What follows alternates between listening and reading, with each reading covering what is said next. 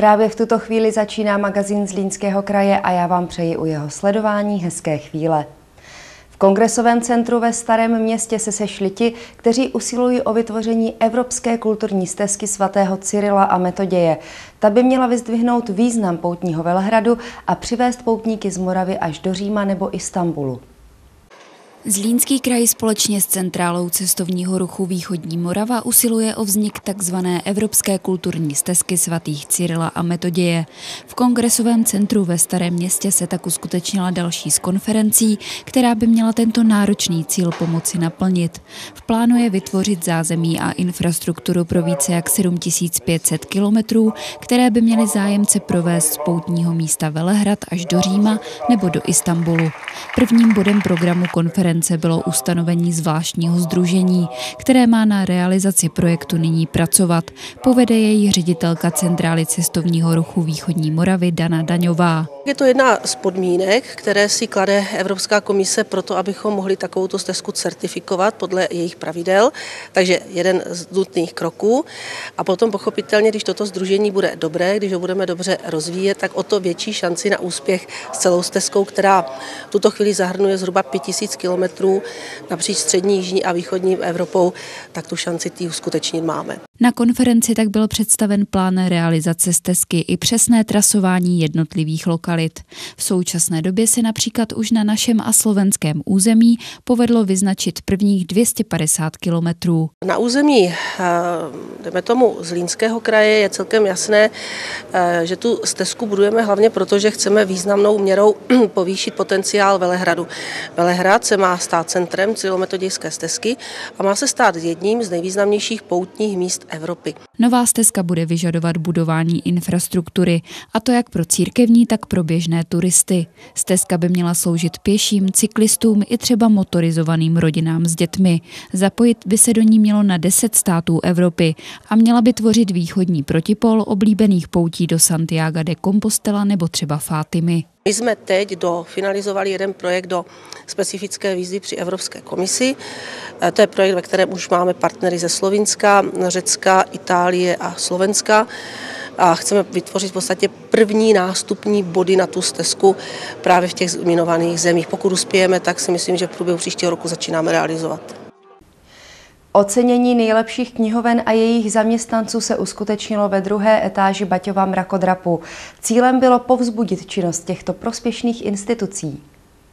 Titulem knihovna z Línského kraje se od nynějška můžou pišnit v Hulíně, Modré, Horní Lidči a Slušovicích. Oceněním předal náměstek hejtmana Ladislav Krištof spolu s ředitelkou krajské knihovny Františka Bartoše s Deňkou Frídlovou. Je to vlastně jakési uznání a poděkování těmto institucím v obcích, které považujeme za eh, střediska kulturní, společenské, vzdělávací, protože oni dneska opravdu dělají poměrně spoustu jiných činností, než že by jenom půjčovali knihy. Oceňování knihoven se konalo poprvé loni. Letos kraj vyhlásil soutěž v Dubnu a do závěrky se sešlo 18 nominací. Hodnotili se statistické ukazatele, vzhled knihoven, péče o knižní fond i mimořádné aktivity. Tak například ze 7 tisíc obyvatel Hulína jich do knihovny chodí přes 700. V dnešní době je práce knihovnice těžká. Řekla bych, že to neobnáší jenom práci knihovnice, ale spíš takového kulturního pracovníka a kulturního dění v obci. Jsme rádi, že v Hulíně se knihovna stává takovým centrem kulturního dění, protože pořádáme spoustu jiných aktivit než knihovnických, ale především ta knihovnická práce a čtenáři a návštěvníci jsou naše gro. Ocenění dostali taky čtyři nejlepší knihovnice. Dita Uhříková z Rajnochovic, Zoja Chodůrová z Babic, Alena Kozubíková z Valašské Polanky a Hana Stloukalová z Vizovic. Zvláštní cenu radního pro kulturu pak obdržela Radmila Novosadová z Malé Bystřice. Ta ocenění jsou stejná, jako byla vlastně v loňském roce, to znamená, každý knihovník oceněný dostane tisíc korun, přičemž se jedná o jednoho knihovníka z každého okresu. Stejně tak knihovna z každého okresu jedna získá 10 tisíc na nákup nových knih. Týžden se konalo předání ocenění celostátní soutěže, kterou vyhlásil Svaz knihovníků a informačních pracovníků. Zlínský kraj byl velmi úspěšný a Vsetinská knihovna dokonce vyhrála v kategorii měst nad 20 tisíc obyvatel.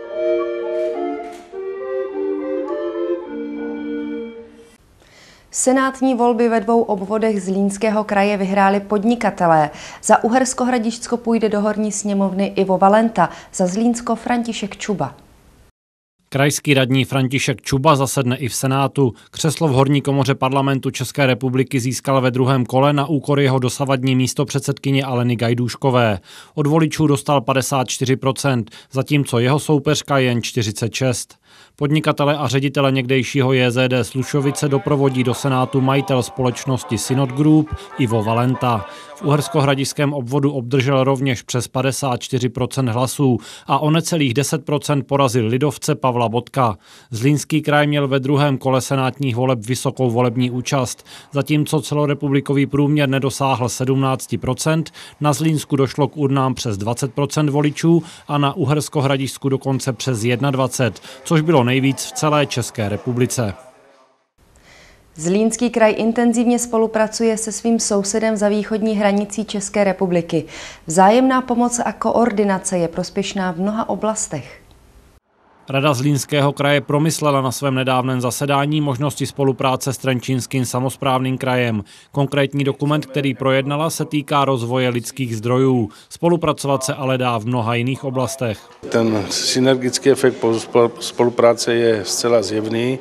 A není to ale všechno jenom v oblasti kulturní, cestovního ruchu nebo e, sportovních záležitostí, ale je to samozřejmě také v oblasti ekonomických, spolupráce na projektech, které třeba můžou řešit dopravy, komunikací v rámci přeshraniční spolupráce. I řekněme i v oblasti třeba e, vymezení komunikací z hlediska zátěže a průjezdu obcí. Pravidelně se potkávají nejen politické reprezentace obou krajů, ale i zástupci úřadů, agentur zaměřených na regionální rozvoj, představitelé vzdělávacích institucí, podnikatelských subjektů nebo úřadů práce. Na jaře letošního roku se uskutečnila dvě odborná setkání, jejichž účastníci konkretizovali možnosti spolupráce, zejména na úrovni škol a firem. Další z výstav připravili v Zubří. Tentokrát je zaměřena na historii. Expozice připomínající legionáře a druhou světovou válku je věnována i výrazné osobnosti města, nedávno zesnulému učiteli Janu Koláčkovi.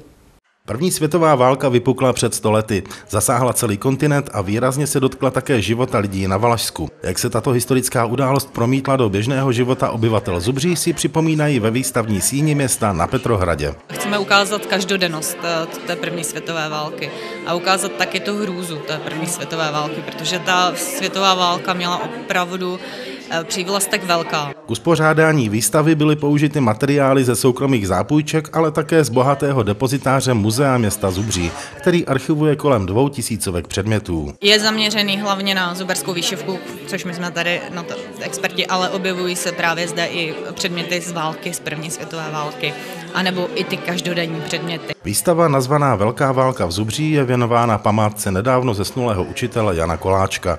Ten připravil řadu jiných výstav, byl dlouholetým členem kulturní komise a věnoval se historii města. Když se postavil před lidi, tak se změnil v učitele. A v učitele, které, na kterého každý vzpomíná vždycky v dobrém, a myslím, že to bylo jeho životní poslání. Mluvil o výstavě už nějak od jara, kdy vlastně eh, s tím přišel i k muzejní, nebo s tím přišla muzejní rada a doma si začal schraňovat nějaké obrázky z knížek, které si našel v knihovně v Zubři a eh, cestoval i do archivu na Vsetín. Výstava dobových mincí, pohlednic, zbraní nebo třeba vojenských uniform je k vidění až do půlky listopadu. Krásný zbytek dne, milí diváci, budu se na vás těšit u dalších krajských zpráv.